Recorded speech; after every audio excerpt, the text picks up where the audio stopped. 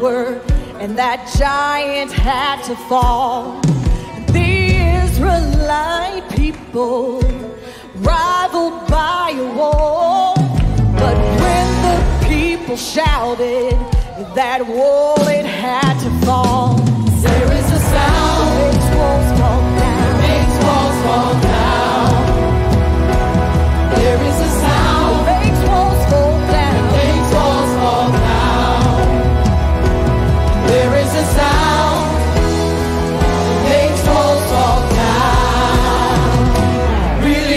Sound.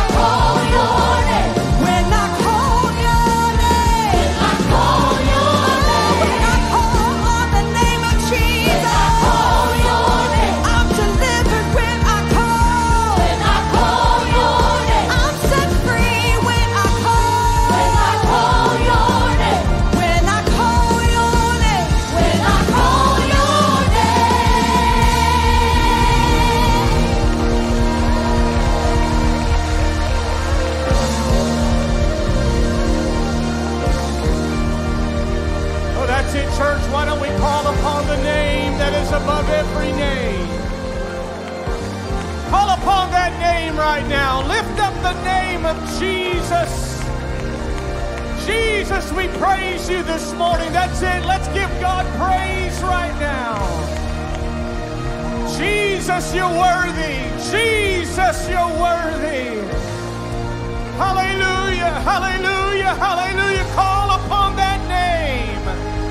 Call upon him today. Lift up your voice and call upon the name of the Lord. He is able, he is able, he is able. Hallelujah, Jesus. Blessed be the name of the Lord. The psalmist said it often. He said, I will call upon the Lord. I will call upon him. Why? He said, I know he's got his ear in tune. His ear is inclined unto my voice. Church, when we lift up the name of Jesus, we have the attention of the one who the word says inhabits the praises of Israel.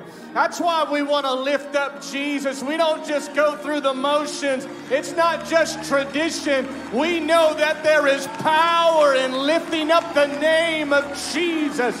There's power when we worship. There's power when we praise. There's power when we lift up the wonderful saving name of the Lord Jesus. Whatever you have need of today, if you can get His attention, I'm here to declare this morning anything is possible. You may have a mountain of impossibilities, but we've got a name that is above every name. If you believe that this morning, would you praise God. Give him an offering of praise, a shout. Hallelujah. Oh, blessed be the name of the Lord. How wonderful it is to be in the house of the Lord this morning. We're going to do exactly what the Bible says in Colossians 3 and 17. And whatsoever ye do, in word or deed, do all in the name of the Lord Jesus, giving thanks to God and the Father by Him. Everything we do today, we do it all in that name, the name of Jesus. Church, are you thankful for Jesus today?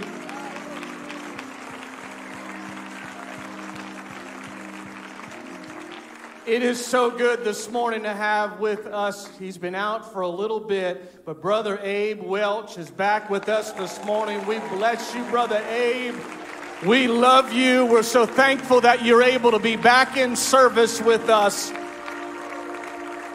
It is so good to see you back there. Why don't you take a moment and greet a few people near you? Why don't you bless them this morning? Let them know it's good to see them as well in the house of the Lord, worshiping magnifying the Lord.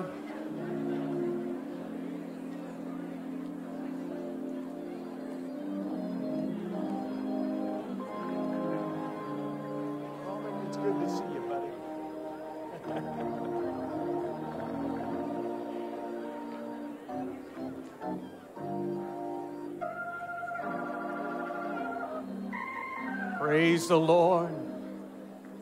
Ushers, you can make your way on down.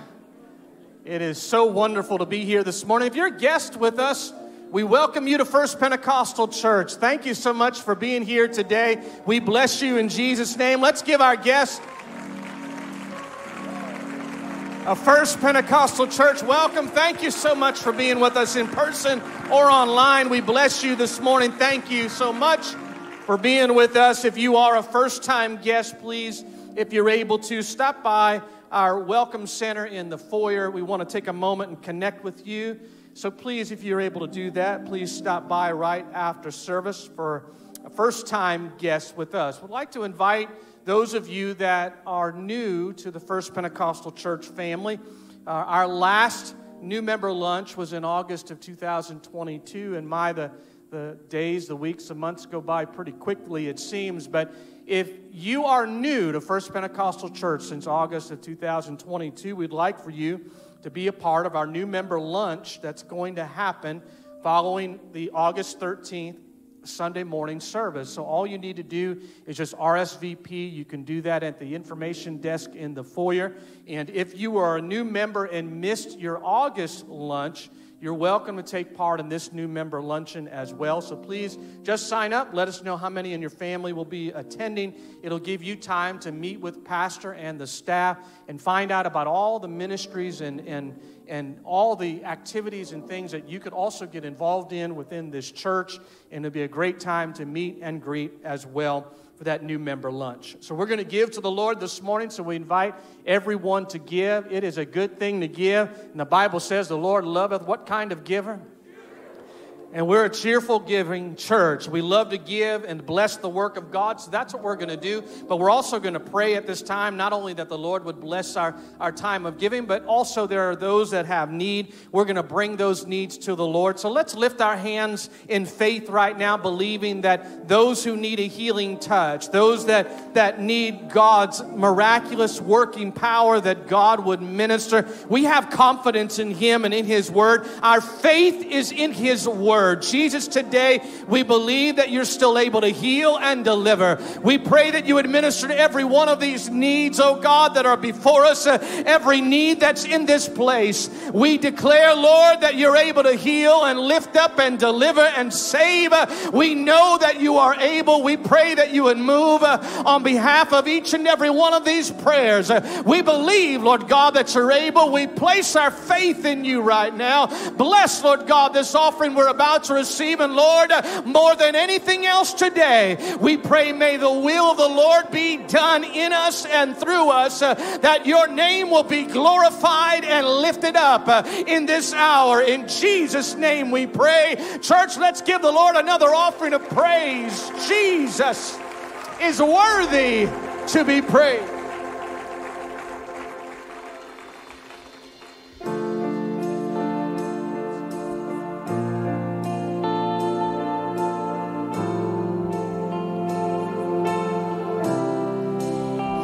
our cry be lifted high in this place. Lord, we want you, no one else will do in this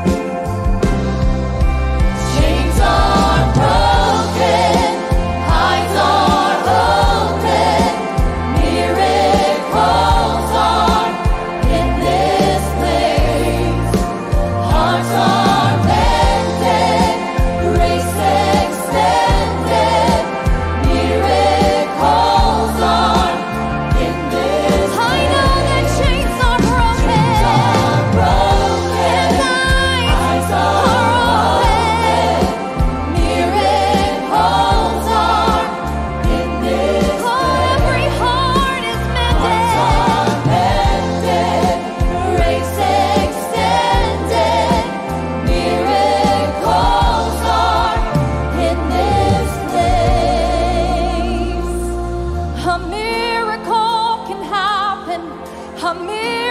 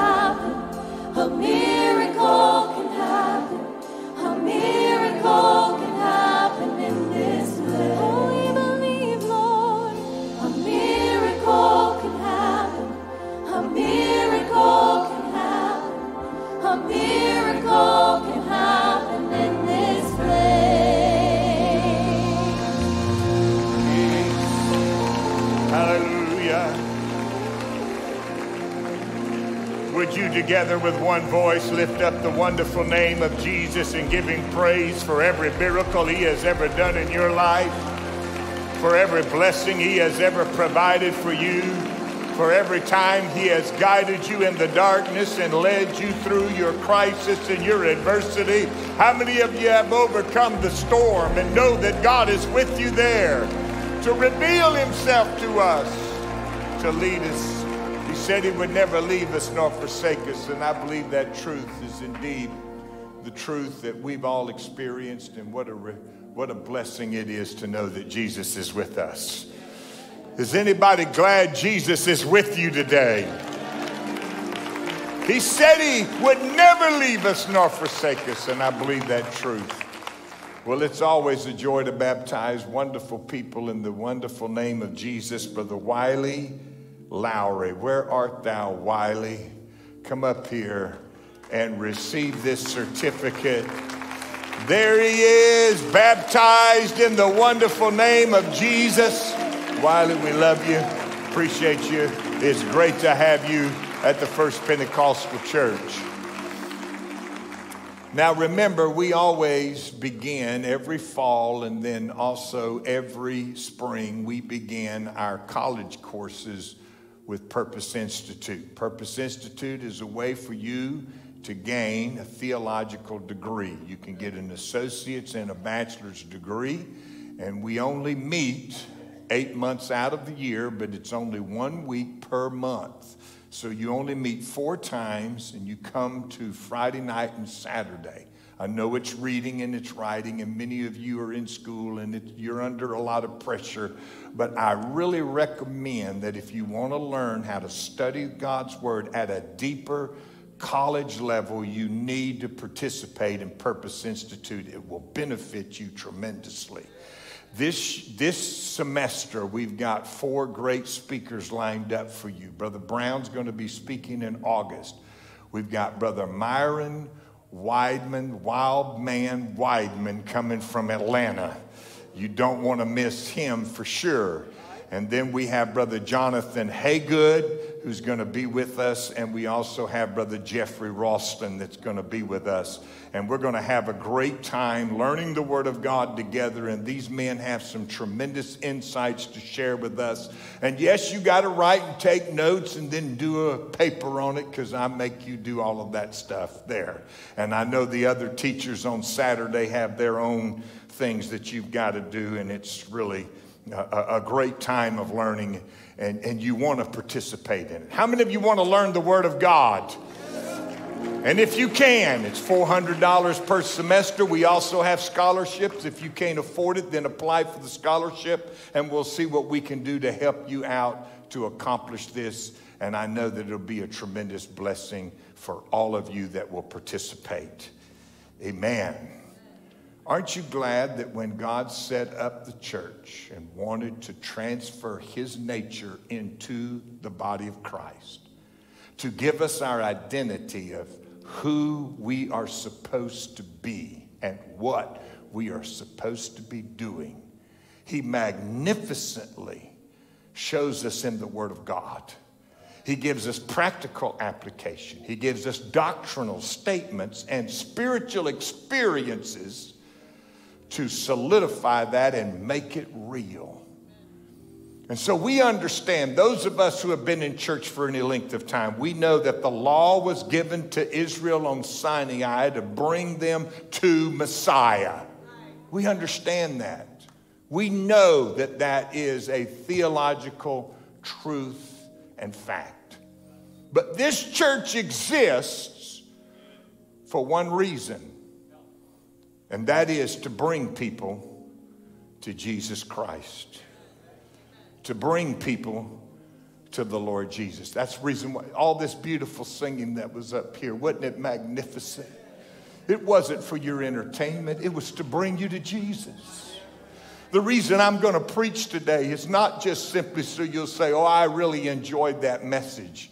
And that don't mean beans in an American society any longer. Oh, you enjoyed yourself. And I want you to enjoy yourself today. I don't want you to have a bad experience. I want you to come to church and enjoy yourself. But you need to do more than enjoy the message, it needs to bring you to Jesus. I'm going to give you an opportunity to pray in just a few moments. It's not just simply to get you out of the place where you are and bring you up here, it's to bring you to Jesus.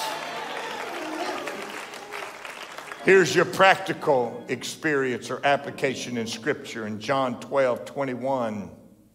The Greeks were seeking Jesus and came to Philip. The same came therefore to Philip, which was of Bethsaida of Galilee and desired him, saying, Sir, we would see Jesus. Would to God that every individual in this building had come here today for that one purpose and it's my job as the Philip or the disciple of Jesus Christ to bring you to him. And that's all Philip did is to get his name recorded in scripture other than to be chosen to be one of the apostles is he was uh, chosen and he, he simply brought them to Jesus. And that's what we're here to do. Here's your, here's your theological doctrinal statement in Galatians 3.24. Wherefore the law was our schoolmaster. For what reason? To bring us unto Christ, that we might be justified by faith. That's why you're here, is because the law taught us, trained us, showed us we can't do this without Jesus in our life. We're, we're gonna, we're gonna be totally defeated and destroyed in our own flesh because we can't do it. But what's the spiritual experience? Second Corinthians 3 6 tells you exactly. Who also hath made us able ministers of the New Testament, not of the letter, but of the Spirit. For the letter killeth, but the Spirit giveth life. How many of you are thankful for the Holy Ghost? That's why we still believe in Acts 2.38 and Acts 2, 1 through 4. And we want you to receive the Holy Ghost because it's the Holy Ghost that'll tell you about Jesus. It'll glorify Jesus in your life. but the letter killeth. And so the type and shadow is always a type and shadow. At the golden calf, when they sinned after Moses had come down from the mountain with the Ten Commandments, there were 3,000 slain by the tribe of Levi. But on the day of Pentecost, there were 3,000 made alive. After the outpouring, the initial outpouring of the Holy Ghost in Acts 2 1 through 4, that day, 3,000 were added to the church. The type and shadow is the law killeth, but the Spirit giveth life. That's why I want you to live. I don't want you to die. I don't want you to feel like life's not worth living. I want you to get something that'll let you know life is worth living. Sir, we would see Jesus. God bless you. You may be seated. The law was given and was very austere in its rules and regulations. A fourth century rabbi identified 613 mitzvahs, as the Jewish people would call them, or laws contained within the Torah. Now, depending on how you divide that up, you could perhaps realistically come up with more than that, but he was the one that condensed it and put it together that there were 613 mitzvahs. But God knew that the law in itself was insufficient to save man's souls, that just simply the letter alone would kill but the Spirit would give life.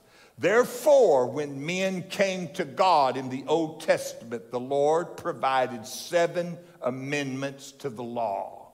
He gave seven amendments that He would allow men to come to Him in certain ways that would establish the fact that there needs to be a New Testament. You need a new covenant. This old covenant that was made with Moses is insufficient and incapable of saving your soul. Now, Jesus didn't do away with the law, but he completed the law and he fulfilled it for our benefit and for our blessing. And the, the first amendment to that law was when Moses, Moses, all he saw of God was judgment. All he saw of God was slaying people because they couldn't obey the law. I mean, everything, everywhere he turned, it was darkness and judgment, and he, you can't let them come up. You got to set boundaries. If they come up, then I'm going to knock them out, and then you know bump them off. And and that was all he saw until finally in Exodus 34 he cries out, "Show me thy glory." He looked for the glory of God in all of the things that he was doing in the judgment against Egypt, bringing them out, bringing them to Sinai. Where's your glory? I don't see your glory. And then God did something magnificent that was totally different than what he had provided Moses earlier and up to this point. He provided an amendment and said, I want to show you my glory. So he placed him in a, in, on a rock and he said, I'm going to hide my face from you, but you're going to see my hinder parts. And he gives 13 principles of God's goodness. And the Lord descended in a cloud. He stood with him there and proclaimed the name. The glory of God is in his name. When you can find his name, you find his glory. He said he's merciful, he's gracious, he's long suffering, he's abundant in goodness and truth, uh, keeping mercies for thousands and forgiving iniquity and transgression and sin. There wasn't any of this in the law until Moses cried out, Show me thy glory. I know we're looking at a very bleak world around us. There's a lot of uncertainty in our world, a lot of fear, but my heart still cries. I don't want to look at all of the darkness that is around me. Is there any glory in my Jesus that I might see? And it was David who picked up the theme and said, Surely goodness and mercy shall follow me all the days of my life. And even in the New Testament, if you go to Ephesians 1 and 8, it'll tell you to the praise of the glory of his grace that we would be accepted in the beloved. Now just think about that for just a moment. The glory's in the grace, the glory's not in your judgmental spirit. The glory's not in your critical attitude. Mm. The glory is not in, oh, I'm wounded, so therefore I am excused from doing right because somebody hurt me. Now I can go do whatever I want to do. Everybody that's ever walked with God, there's going to be a place somewhere where the enemy is going to try to take you out. You're going to get hurt. You're going to get wounded. But I serve a God who is a healer and he is a heart mender. And the glory's in the grace. When you can become gracious like my Jesus and adopt his nature and his identity, that's when the glory's to come into this place. The glory doesn't come in here because we're austere and because we're unbending and we're unyielding uh, in our resolve to do whatever it is we think we're supposed to do. But when it's grace and mercy and you can be forgiven in this house and you can find a new start in this place, there's a new beginning. Uh, my God amended the law so he could build a New Testament that said, My, my glory is in my name and my glory is in my grace. Not only can you be forgiven, but you can be accepted in the beloved. That means I've got a seat at the table. You can't deny me access to the authority and the glory of God because I've been given a new nature and a new name. I've been born again of the water and of the spirit. You can't deny me access. Well, I don't like you. I don't like the way you comb your hair. There's something about you that's wrong. There's something about all of us that's wrong. Let me just help you right now. There's something that's dysfunctional about every individual in this building, but the glory is not in your critical spirit. The glory's in the grace. That's why I sing this because I've got grace. When the law was written by Moses, there was no allowance for any daughter to be or to receive an inheritance in Israel. It was only given to the men. The firstborn male received the inheritance until the daughters of Zelophehad decided that we don't have any male. We don't have any male descendants. There are no brothers in the house, only sisters. So, what are we going to do? We don't want to lose our inheritance. So, what are we going to do, Moses? They come to Moses. Moses goes to God. God amends the law. Wow. And puts the inheritance in the hands of the daughters as well as the sons. If there are no sons, then it goes to the daughters so that they do not lose their inheritance. Joel picks this up, chapter 2. Read it for yourself and says, Both sons and daughters shall prophesy.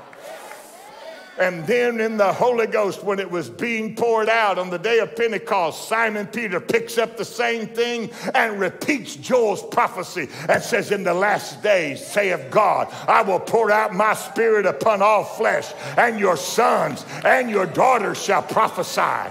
And then in the New Testament, my, my, my, he picks it up again and says that the, the women and the men shall inherit alike in the kingdom of God so that there is no difference between male or female. That means, ladies, you're accepted here. Praise God. Come on in. Hallelujah. It's not just for the brothers, it's for all the sisters as well, because God amended his own law. Somebody better say amen, because the inheritance is in the house. Woo! Hallelujah. When God established the law, he established the judgment that would come upon anybody who, who killed another person. That it would be eye for eye, tooth for tooth, hand for hand. There's no way out. You're going to die. That's just all there is to it. Flat out. Until somebody came to Moses, brought it to his attention, and said, Now, Moses, what are we going to do if they accidentally kill somebody? What are we going to do now? Because they didn't really have any hate in their heart. It was an accident, but they're still dead, and the avenger of the blood's coming after them. And what are we going to do? And then the Lord said, I want you to pick out six cities of refuge. And I want you to make the way, prepare the way. Let the elders hear the case. If the elders decide that it was accidental, they get to stay there till the death of the high priest. Woo! My God, when I came to church here, I didn't just come to see who was here and what you were wearing. I came to my refuge. He said the slayer might flee that he might live. So you got to prepare the way and mark it and make sure that the sign is up and running and there are no stones in the way. You've got to put all of your resources into making sure that he who is running from the avenger of blood has a way to their refuge. You say, well, where's our refuge in the New Testament? Is there a, is there a sister scripture? Is there companion scripture? Hebrews 6.18 says that by two immutable things in which it was impossible for God to lie, we might have a strong consolation who have fled for refuge to lay hold upon the hope set before us. David picks it up in prophetic theme in Psalms 57 and 1 and says, Be merciful unto me, O God. Be merciful, for my soul trusteth in thee. Yea, in the shadow of thy wings will I make my refuge until these calamities be overpassed. Woo! Hallelujah. The Bible says, if any man is sick among you, call for the elders of the church and let him pray over him, anointing him with oil in the name of the Lord. And the prayer of faith shall save the sick. And if you've committed any sins, it shall be forgiven you. The reason why we preach healing in this place is because if God heals you, uh, he has forgiven you. Uh, and if he forgives you, he can heal you. So we still preach it and we still believe it just exactly like we preach it. Because when I walked in here, I didn't walk into a place of judgment. The high priest is still alive, and you can't judge me because this place is a refuge. Hallelujah. Maybe I'm not all that in a bag of tater chips, but God's not finished with me yet. So you get over your pride. You walk up in here and start praising the Lord. You say, but so and so's in this place and they're a hypocrite. I don't care what they are. They came to the refuge. And as long as the high priest is still alive, and the Bible says he ever liveth uh, to make intercession for us. Uh, I've got an amendment to the law that gives me a refuge so I can clap my hands, worship and praise the Lord. Here's your next amendment. The ark had been taken by the Philistines. They had no place to come to where the glory of God rested. It was in the land of Philistia until David decided to bring the ark home to him. At first, Uzzah touched the ark because it was being drawn on a cart of oxen and God couldn't accept that particular method, so he killed Uzzah at the threshing floor. And then, when David purchased that threshing floor, and he purchased this threshing floor when he sinned against God by numbering Israel. He purchased the place in order for him to put the Temple Mount. But the Bible says specifically the tabernacle was still at Gibeon. But David pitched a tent. Hmm. He had authority and prophetic word. That tent had no veil. It was at Gibeon, and it stayed at Gibeon until Solomon's temple was built. But David set up a tabernacle and put the ark in the tent appointed singers and choirs, Jeduthun, Heman, and Asaph, were a part of the leadership of the choir directors of the choirs and said, We're going to sing. And you could hear them sing from 20 miles away, Josephus said. While you were coming up to Jerusalem, you could hear down through the valleys and down along the mountains the echoes of the songs of Zion. And they were singing and praising God with harps and all kinds of instruments that David made. Woo! Hallelujah. And Gentile and, and Jew together worship before the tabernacle, and the glory of the Lord shined out of Mount Zion without judgment. So you can walk in here and feel all the glory of God and not fear you're going to be slain because you're an unclean person.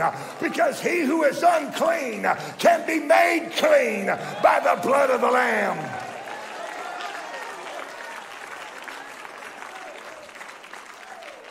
You don't believe it's true? Amos 9 and 11 says, In that day, referring to this day of the dispensation of grace, I will raise up the tabernacle of David that has fallen and close up the breaches thereof. Then James, with his wisdom, stood up among the elders in Acts chapter 15 and said, After this I will return and will build again the tabernacle of David, which is fallen down, and I will build again the ruins thereof. And guess what? The residue of men might seek after the Lord, and all the Gentiles upon whom my name is called, saith the Lord, who doeth all these things.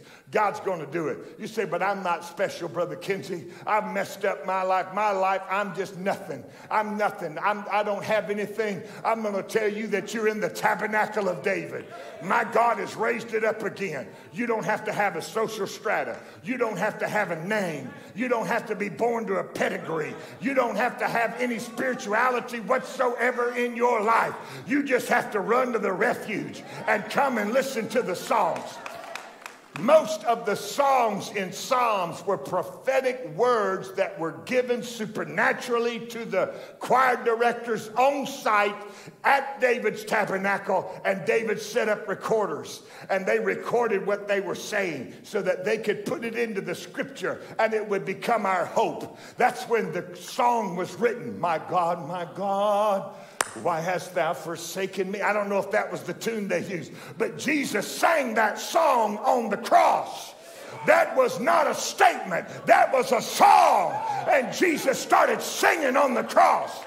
Well, I'm going to tell you right now if Jesus can sing on the cross, you don't have to sit there and let the devil beat you down because of your sin. You say, Well, I'm going through something. I can't worship God. I say, Woo! Ha! Shatamayara.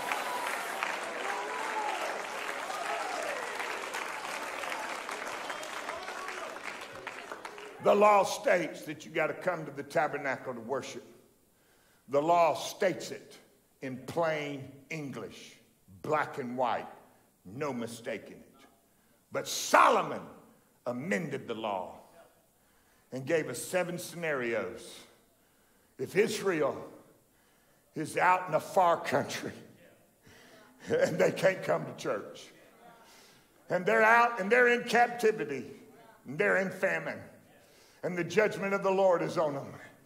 If they turn to this place, wherever they might be, I will hear them. Will you hear them?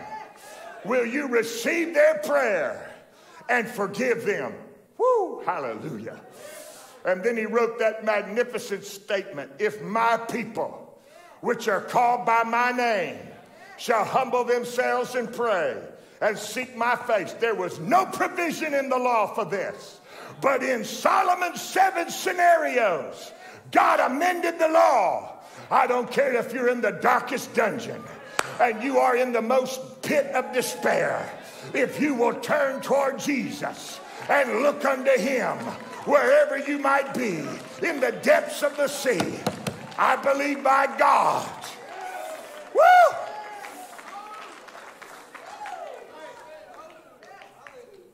I tell you what, I'm so excited. See, I know what I'm going to say next, and you don't. But I, I, am so excited about telling somebody that my God has already anticipated every single excuse you could possibly make for not coming to Jesus today, and He has eliminated by making amendments to His own law. At that time in Solomon's scenarios. He created what you call in the Hebrew the Shamayim. The Shamayim is the divine assembly that when God's people gather, God will be in the midst of them. He set it up. Woo! And then Jesus took it. They said there had to be 10 men according to their ruling. But Jesus narrowed it down to where two or three are gathered in my name and you will create the Shamayim. Hallelujah. And I will be in the midst of them.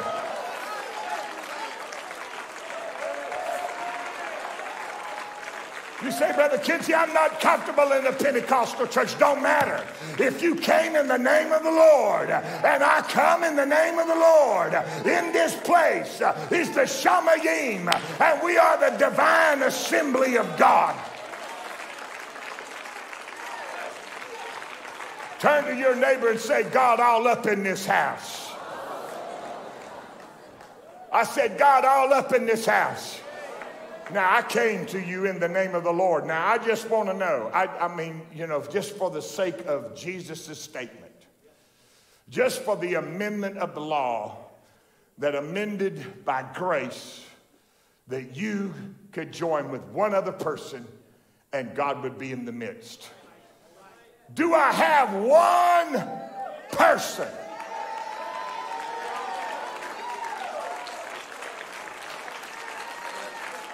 do I have one person who will stand up and say, I too have come in the name of the Lord automatically.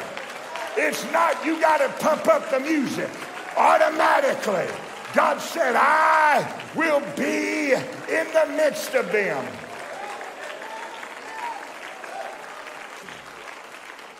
Y'all can be seated. I'm not done yet. I know that's why you all stood and said, oh, maybe he'll be finished if we all stand. Somebody say, this is good stuff. Here's the next amendment to the law that had to be made. Jeremiah, Ezekiel, and Isaiah made their amendment to the law because the law states very plainly that you have to read the Ten Commandments and you have to obey the commandments. And those commandments are as rules that if you disobey them, you will die. That's the law. It's flat out. No provision, no amendment of grace until Jeremiah, Joel, Ezekiel, and Isaiah said, I'm going to create a new testament and a new law in Israel. I'm going to amend the old law and I'm going to create a new law. And we will not write the word upon tablets of stone. Because following a rule out of a rule book does not qualify you for salvation in God's eyes. Well, I go to church. That, didn't, that don't mean beans to God. But he said, I will put a new spirit. I will write a new law in their hearts. Woo! My, my, my. I think I'm going to have to shout on my own sermon. It's just so exciting. Because some of you are thinking there's no way I can live a Pentecostal lifestyle. Ain't nobody can live a Pentecostal lifestyle, not even me. There's no way I can do the Sermon on the Mount. I get three verses in and I'm lost. three verses into the Sermon on the Mountain and I'm already repenting and saying, God, there ain't no way to go any further. You might get one out of all of them, but you ain't to get all of them. I don't care who you are. You're not that good. You're not that, and you're just a taco short of a platter. Every one of you's a taco short. According to my Bible, everybody has sinned and come short of the glory of God, and none of us got a right to nothing. But I've got an amendment to the law. And the book of Corinthians said, I will put my spirit in their heart, and they will do my statutes. Woo! We are we are our own epistle. You are our epistle, written in our hearts, known and read of all men. I'm telling you, I've got the Holy Ghost. I don't need a rule book. I've got something in my heart that says I want to serve the Lord.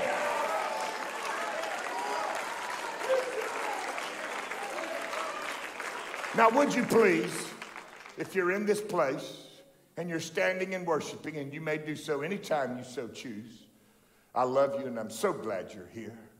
Hallelujah. Amen. But I want you to know and understand that if you feel like you have to do that, in order to gain my approval to make heaven so I don't fuss at you tonight for not doing it. Please sit down and don't ever stand up again. Because that is not true. You don't, I don't, I, you don't need my approval. I'm not going to fuss at you tonight if you just sit there and look at me because I'm so excited, I'll preach it anyway. Woo! Hallelujah! Why? Because I got an amendment to the law and there ain't nothing you can do to stop me from getting into his presence because I'm standing on the new covenant and the new law and the Shamayim is in the house. The divine assembly, the heavenlies, where God dwells, is in this place. And I've got a new law. You know, everybody gets messed up with Joel chapter 2 and verse 32 because it says, Whosoever shall call on the name of the Lord shall be delivered. All right, well, then Peter picks that up in, the, in his magnificent sermon on the day of Pentecost, Acts 2.21, and says, This shall come to pass that whosoever shall call on the name of the Lord shall be saved. Paul says the same thing in Romans 10.13, For whosoever shall call upon the name of the Lord shall be saved. And everybody thinks that's a method to be saved. It has nothing to do with the method. That's not the means and the method you use to be saved. You say, well, what does it say? That means everybody Gentile. He was dealing basically with the Jewish prejudice and the wall of partition between the Jew and the Gentile because the Jews thought the Gentiles were dogs. So whenever me and brother uh, Sam Emery get together, he calls me dog. Hey, dog. And I was going to pop him one and just bust him right upside the head with the fivefold ministry. And then I found out it's scriptural. I'm a Gentile and I'm a dog. so, what do you do with the brother that just quotes the scripture on you? There's nothing you can do with that brother. You just go ahead and absorb. Hey, dog, I just say it back. Hey, dog, what's going on? Now, I don't say that to nobody else. Sam says it to everybody, but I don't say it to nobody else because I'm not calling anybody a dog. But the Bible did say that the Jewish people thought you were dogs. Huh? But God made a provision in David's tabernacle, in the Shamayim, that both the Gentile and the Jew, I don't care how messed up you are, I don't care if you're the worst sinner that's ever been created in Pensacola or the world, you came to a place of refuge. There will be no judgment here as long as the high priest has got breath. There's power I proclaim the name of the Lord. I said, I proclaim the name of the Lord. His glory is in His grace. And if the glory of the Lord is here, there's grace, there's a refuge from the storm. Okay, one last, one last refuge. I'm going to please all the melancholies today. Seventh amendment to the law. The law states plain as day, Deuteronomy 6 16, ye shall not tempt the Lord your God as ye tempted him in Massah. Plain and simple, you can't do it. Malachi amends the law and says, Bring ye all the tithes into the storehouse, that there might be meat in my house, and prove me now, herewith saith the Lord of hosts, if I will not open you the windows of heaven, he establishes a new law. It's called the law of giving. The New Testament says the Lord loveth a cheerful giver. That when you come before him and you make your petitions, you do it with thanks. Three of you went to Sunday school. You do it with thanks, thanksgiving. If you will not forgive, uh, you didn't really pay attention. You went to Sunday school, but you didn't pay attention. If you do not forgive, you shall not be for. All right, there you go. You got it. You did go to Sunday school. Thank the Lord. Without giving, you got to have a giving heart. Say, I don't have anything to give. There's no money. I have no prestige. I have no, nothing to give. Yes, you do. Woo! Hallelujah. Man, I feel this in my soul. He changed the law and amended it so that you could give yourself.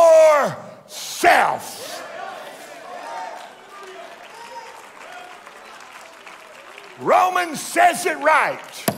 Present yourself a living sacrifice. Woo! Give yourself.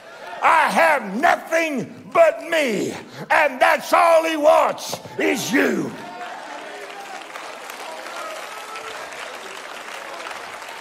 He don't want your mama. He don't want your daddy. He wants you.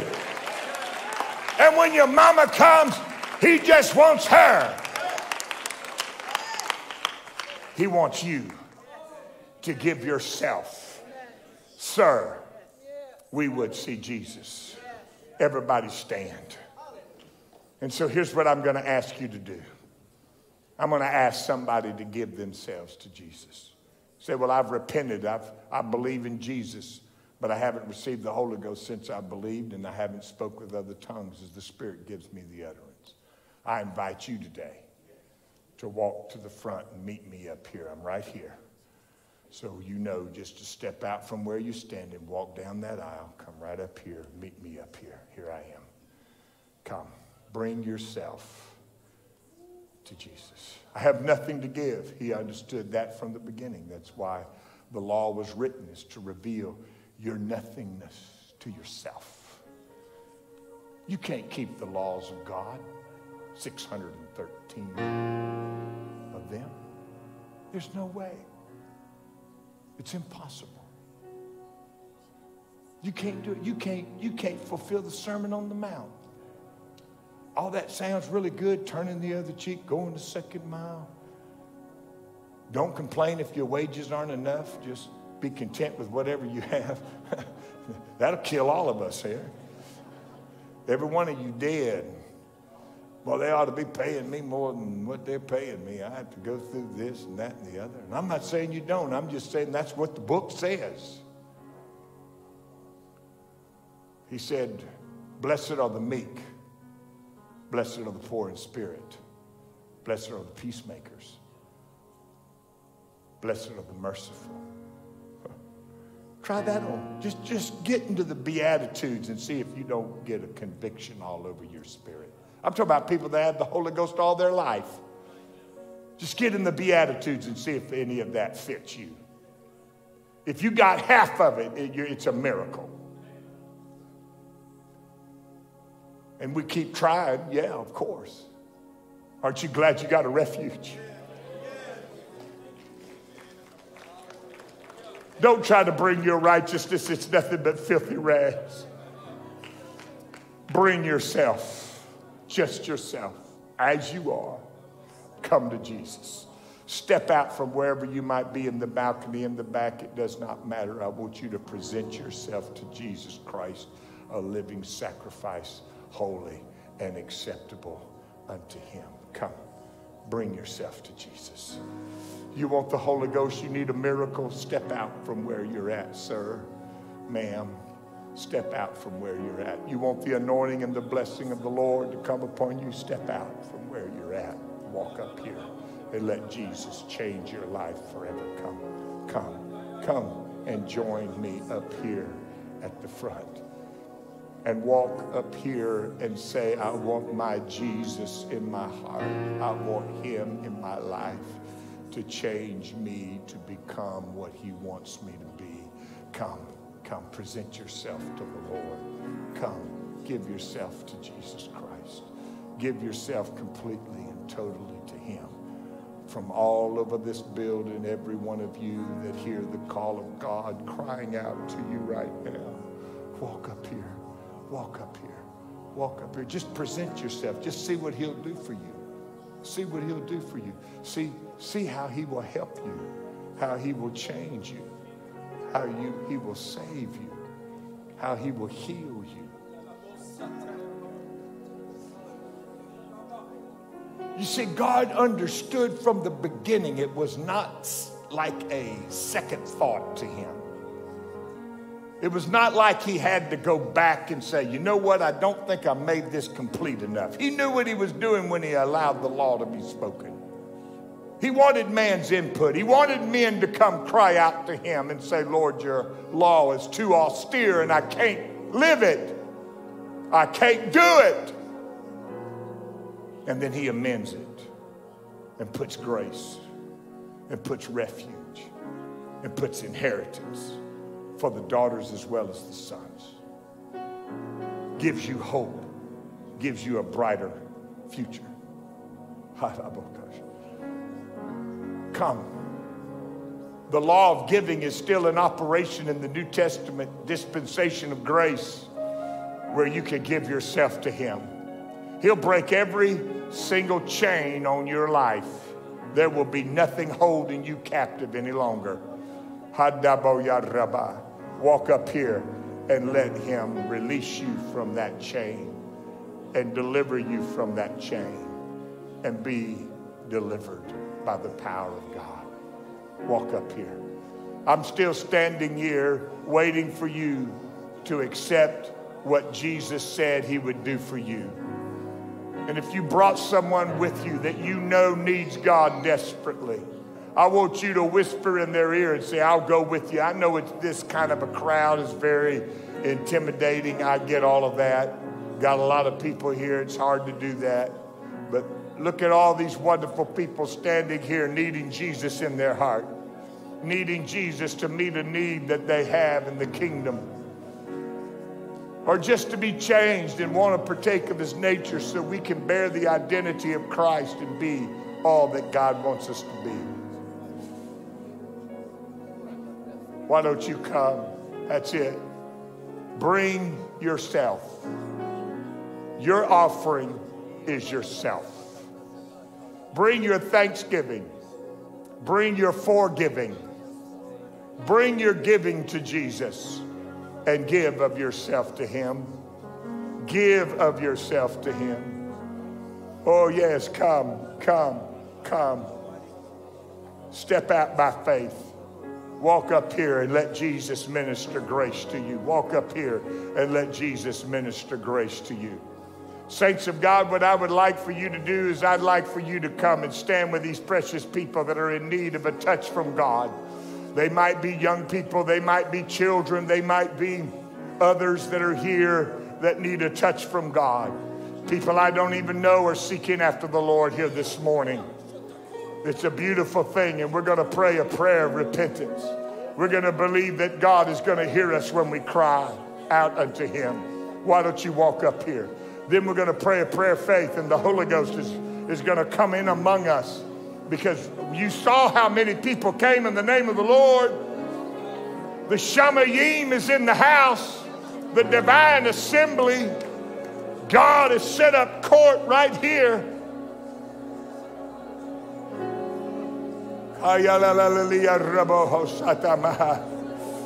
Step out by faith. Thank God for the amendments that made provision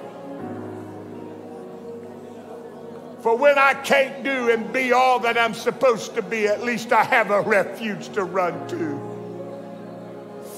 I have a place to go. Hallelujah. I want you to lift your hands right now all over this building. And I want you to repent and ask God to forgive you. Father, I thank you for your magnificent love. I thank you for your wonderful peace. I thank you for your wonderful love for all of us. Lord, I ask that the Spirit of God would come upon us. Let the Holy Ghost Forgive us, Lord, of our sin. That's it. That's it. Right now. Forgive. Forgive. If you've got aught in your heart, forgive that person. You say, Well, I don't know if I can do that. Just put it on the altar. Let's just give it to God. That's how you do that. He'll take it from there. You can't do this. You can't forgive some people of the craziness they've done to you in the past. God's got to help you do that. Give it to Him. You can't do that by yourself. I can't do it by myself, and I've been serving God all my life. But I give it to the one who can do something about it, and his name is Jesus. That's it. I feel a Holy Ghost coming in this place right now. Now let's pray the prayer of faith. Lift your hands by faith in the name of Jesus. I proclaim the name over this congregation and this altar. Receive ye the Holy Ghost. Receive the blessing of the Lord. In Jesus' name, amen.